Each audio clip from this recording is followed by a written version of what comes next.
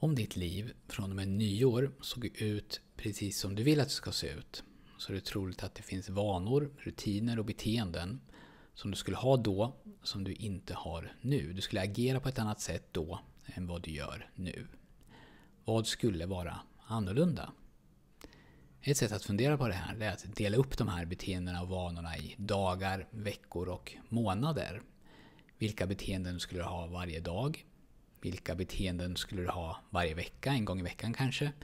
Och vilka beteenden skulle du ha varje månad, en gång i månaden? Om du sätter dig ner med papper och penna och börjar spåna så kommer du antagligen komma på en hel del saker som kanske inte är sådär jättesvåra att föra in men som inte har blivit av eftersom du inte har schemalagt dem eller definierat dem tillräckligt noga. Varje dag kanske du vill ha någon slags enkel rutin på morgonen och någon enkel rutin på kvällen då du först planerar dagen och sen utvärderar dagen. Kanske vill du varje dag komma i säng ungefär samma tid och vakna ungefär samma tid. Kanske vill du ha bestämda tider för när du kollar mail eller kanske vill du varje dag dricka en viss mängd vatten eller gå en viss mängd steg och så vidare. Eller kanske vill du varje dag lägga ifrån dig mobilen klockan nio. Varje vecka kanske du vill ta hand om någonting med huset eller lägenheten. Eller se till så att alla papper är i ordning när du tar helg.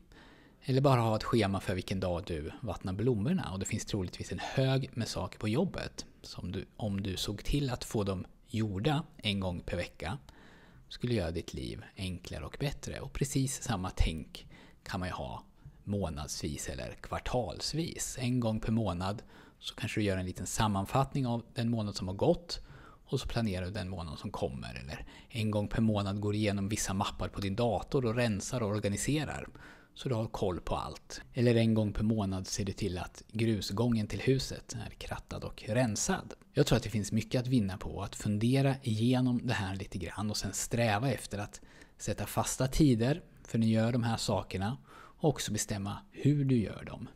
Troligtvis inte alla de här punkterna då på en gång för då är risken stor att du tar på dig för mycket och inte orkar hålla i. Men en eller ett par saker i taget och sen sakta men säkert lägga till fler saker i den takt som passar dig.